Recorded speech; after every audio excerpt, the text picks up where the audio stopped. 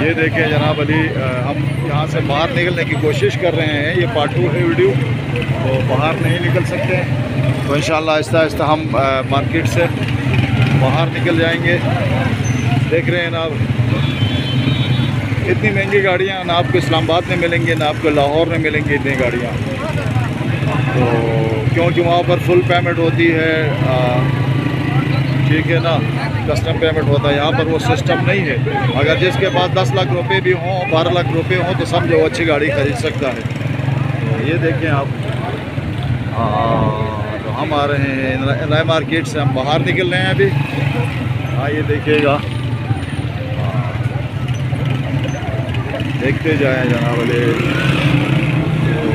पूरा गिलगित बल्तिस्तान के लोगों का जो पैसा जो है इस मार्केट में ख़त्म हो जाता है, जितना वो कमाते हैं, वो सब जनाब अली ईद के दौरान, शॉपिंग के दौरान नंदलाई मार्केट में, अपना पैसा जो है लुटा के खाली होके जाते हैं और बड़े फ़ख्र करते हैं जनाब अली, हमने उनसे महँगा ख़रीदा है, फलां से महँगा ख़रीदा अपने रिश्तेदारों से महँगी चीज़ें ख़रीदी है।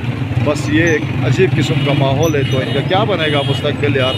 कुछ समझ में नहीं आ रहा है। तो हम गेट से बाहर निकलने वाले हैं। तो मेरे ख्याल में बस निकल रहे हैं यहाँ से। तो आपके लिए इतना ही काफ़ी है, जनाब अली। ये गेट से बाहर हम निकले। आगे से हम फ्रंट करेंगे। चलो, आपको दिखाता हूँ आगे से भी। हाँ आगे से फ्रंट करेंगे। हाँ देखते जाए रेडियो वाले अपनी जगह पर हैं।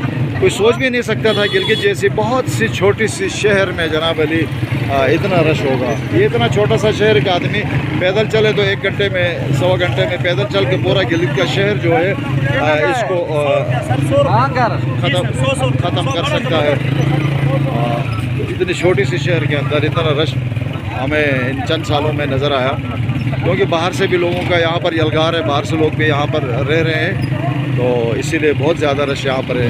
तो ये पुराना चौक है, यहाँ से हम राइट टर्न करेंगे अभी। तो राइट टर्न करके हम बाहर निकले अभी मार्केट से, जहाँ पर लूटमार हो रहा था, लोग लूट रहे थे, दुकानदार लूट रहे थे।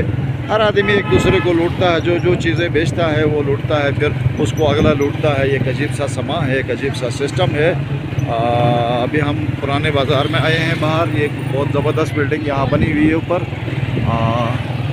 ये देखिएगा, ताज़ा बनी हुई है। तो